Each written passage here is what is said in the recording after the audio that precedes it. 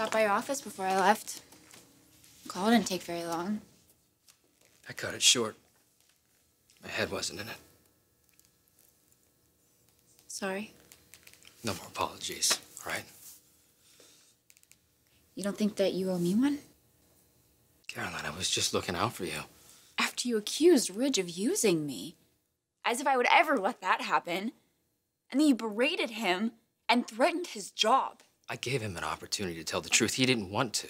You tried to humiliate him by forcing a pencil in his hand. He didn't deserve that. I can't believe you're still defending him.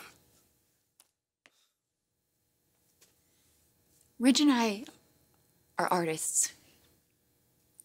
I understand what he's going through. What we do, it, it's more than that. It's, it's who we are. It's, it's what we're made of. So not being able to draw, it's like not being able to breathe.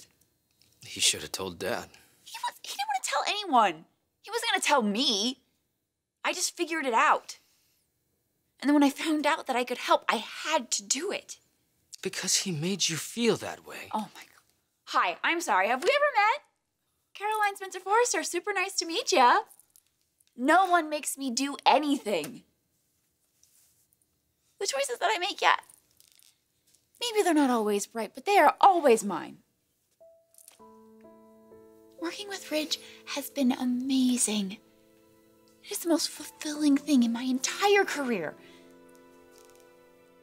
As president of this company, I have to see what kind of effect it'll have on the business. I don't want it to have an effect on us. And neither do I. Okay. So then why do we have to make this such a big deal? Can't we just put this all behind us?